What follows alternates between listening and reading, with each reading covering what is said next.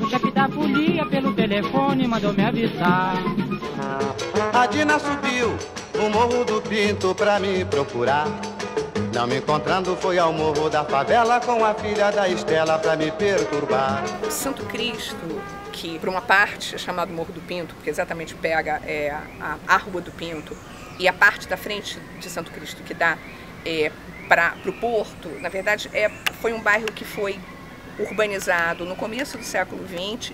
e que recebeu uma leva muito grande, exatamente nessa virada do século, de migrantes, migrantes espanhóis, migrantes portugueses, migrantes italianos, que chegavam, que vinham da crise é, europeia, que vieram por causa da Primeira Guerra, é, que vieram em busca de trabalho e em busca é, de uma nova vida é, no Brasil e no Rio de Janeiro. Já foi no Morro dos Cabritos provocar conflitos, já foi no Morro do Pinto acabar com samba. Nos anos 70,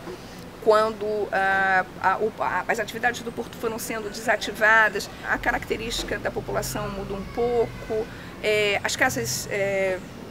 envelhecem, intervenções urbanas, construção de, construções de viadutos que mudam completamente é, o perfil da região e nos afastam daquele bairro bucólico narrado ah, por Machado de Assis.